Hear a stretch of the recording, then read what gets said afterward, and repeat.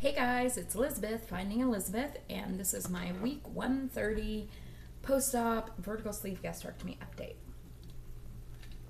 Mm. I try not to do that now, and then every time I rewatch a video, I find that I am, mmm, I really like my beverages. So, how is everybody? Um, so, we have a better weight week this week, which is not surprising since I'm on Project Wrap This Shit Up to lose this last bit of weight by the end of the year and then figure out how in the hell I'm to pay for plastic surgery. So my I, my starting weight in January of 2014 was 402 pounds. My I had vertical sleeve gastrectomy on April 14th, 2014 at 360.6 pounds. My weight last week was 212 pounds. My weight today was 204.8 pounds. So that is a 7.2 pound loss since last week, which does sort of tell me um, that last week's weight included a lot of water retention because I did get on back. On, I did get back on track, but I don't think I got back on track enough to lose seven pounds of fat, muscle, anything other than water. But um, uh, that's 100, 197 pounds total. That's a gain of 2.8 pounds in the last month and it's a loss of 3.2 pounds in the last year. Yeah, last week really screwed with me because it said that I had gained three pounds in the last year. But um, unless I have another seven pound week, next week's going to show a gain too because we're coming up on the week that I hit Onederland for the first time. So I don't know that I have another five pounds in me, but uh, we'll see. So that puts me in a better uh, better mood. So uh, real quick, a couple of announcements. Um, have you subscribed to the new Naked Truth channel? Make sure you subscribe to the new Naked Tr- Truth channel. We had like 1,700 subscribers on the old channel. We have like 500 on the new channel. And as soon as I move all the videos over, I'm going to ask Jennifer to get rid of that other channel so it's not um, so it's not confusing because it confuses me when I search for the Naked Truth or try to show it to somebody. So please subscribe to the Naked Truth. It's in the box down below. Also, I'm um, what day? Friday, I guess, is my two and a half year surge anniversary, and I'm going to do a Q&A video, and I'm going to randomly draw one of the people who leave a question and give them a $20 Amazon gift card. So if you want to leave a question, you can leave it below, or I'll also post on Facebook. What else do we have? Uh, oh, so several of you have very strong attention to detail and notice my bulletin board behind me. So in the past, I've always like over the year, I've kept a bulletin board like over my computer where I work with all the things from the year. You know, just things that pictures and notes and cards and stuff like that. Well, hello, my life is so much bigger now that one bulletin board isn't enough. So I actually have three. So I had always had the same one back here, and I thought, you know what, I need to switch it out with the other ones so that other people, because a lot of the stuff on these bulletin boards are from people in the weight loss surgery community, cards or notes or whatever. So I wanted to move the bulletin board around. So we'll look at this one for a couple weeks and then I'll switch to the third one. And I haven't even ordered pictures from like June, July, August, September, and OH. So probably gonna it's probably gonna be a four bulletin board year, I think, because my third one's about half full. Um, so anyway, I just want to point that out. Uh, shout outs. I gave her a shout out last week, but I want to give her a shout out again. Lindsay Fly got married. I don't know. Is she taking? Are you taking Kent's name? I don't know. Fly is like such a good last name. So just saying. I don't know, but you looked absolutely fucking gorgeous. Um, and I hope you had a wonderful day. And it was also um, Melly May's birthday, so happy birthday, Melly May. And then Randy VSG Granny is having her plastics tomorrow, so I want to give her a huge shout out. And what else do? Oh, and of course I want to give Amy a shout out because Amy's Amy's my person who who listens to all the crazy things in my head as a uh, very smart person and doesn't tell me I'm crazy, even though sometimes I think she probably should. And I just love her a lot, and I just want to give her a shout out too. All right. Hi, Amy. You're not watching, are you? I don't think you're watching because it's not like you asked me when I was going to post my video today, right? All right. Okay, so what else do we want to talk about? So, what have I done differently this week to lose 7.2 pounds? Well, I've done all that shit that I should have been doing the whole time, which is tracking my food, weighing and measuring my food, drinking my water.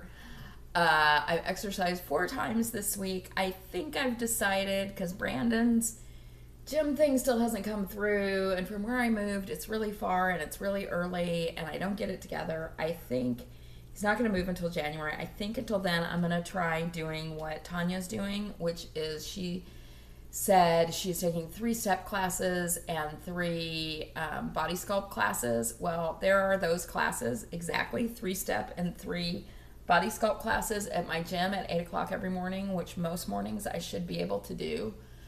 So I think I'm going to try that instead because my gym is like two feet down the road and it's much easier for me to go to. And then when Brandon moves over to the new gym, I'll go back to him.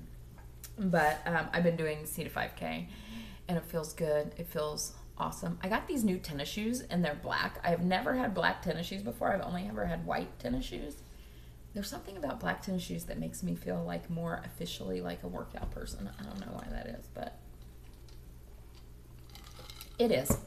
Um, so I have been, um, I wouldn't say that I've told, oh, and I've been drinking all my water and yeah, um, I have been sort of following, I haven't really been following a ketogenic lifestyle. I have been doing more of what I did immediately post op, which was, you know, sort of like a low carb lifestyle. I went to one of the keto calculators and I think what does it say in MyFitnessPal that I'm supposed to have? I think I'm aiming for one moment. Let's see what it is so I can actually tell you. I think, uh, and the keto calculator gave you some flexibility, and I haven't watched any of these videos on keto from other people, so I'm sure there are people who are much more informed on this than I am.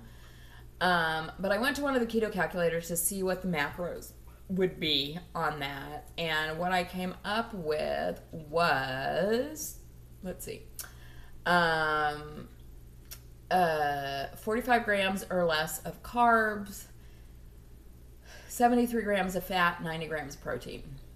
So the carbs and the protein I've pretty much been hitting without a problem and that's what I did. Pre-op the fats. Yeah, the only, and I'm not gonna like over try to get the fat number. Um, I mean, we'll see how I do. Just on going back to what I've been doing. I've never been afraid of fat. I've always bought full fat products. But do you know you cannot find full fat yogurt, or I can't. I looked for it. Um.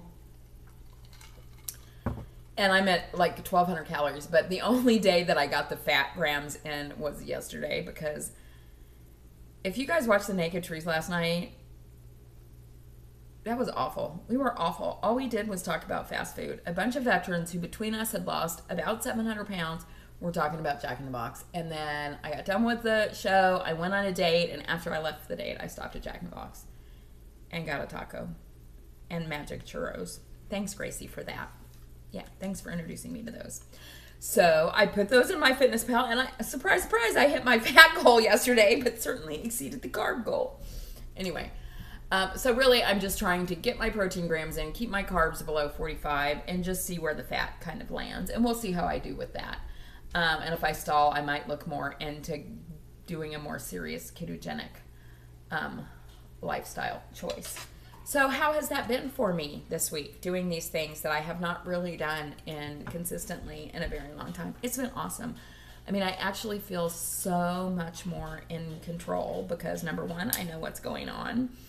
I know what I'm consuming. I know what the calories are. And, you know, even on the days that I think that I am sort of sucking, um, I'm really not. Uh, my stuff is fine. And obviously, I lost a lot of weight last week. And I'm sure a lot of that was water, but still. But just being in control. I mean, I haven't weighed and measured my food in a really long time, probably probably in a year.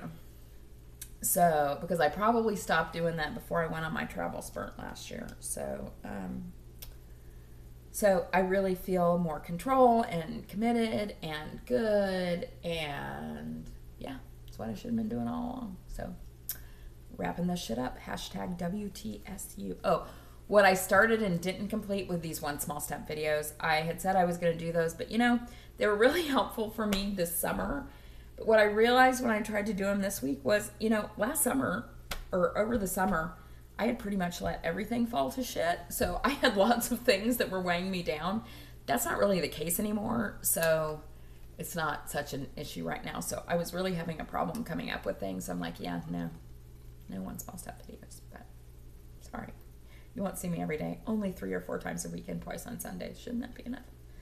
Uh, so what else is going on this week? Okay, I wanted to. Uh, oh, I wanted to talk about. I want to talk about being part of this weight loss surgery community. Before I say anything about that, I realize I left two people out of my OH update that I want to recognize. One is Sandra Sandries. I don't know how I could have forgotten to mention you, probably because you live here, but and I see you relatively regularly, but still, there was no excuse for that. So Sandra was there. It was great to spend time with her as always, and Joella Joella of the Winchell's Donut Contact fame. How could I have forgotten you? She was another great person to meet. So I just wanted to call out those people. But in watching people's recap videos about um, OH, I have to tell you that it made, I don't know, it just made my heart feel good. Jody's video actually made me cry but uh, also Drea's video that I watched today. I cannot tell you how good it made me feel to hear both of these ladies say that they felt so welcomed and accepted into the weight loss surgery community for their first time in a conference. And I hope everyone felt that way. Um, but I know around the time that I came into the community, I never felt this, but I heard people talk about, you know, oh, there's clicks and, you know, you feel somebody feels left out or, do, but I mean, that was never my experience, so I didn't see that ever.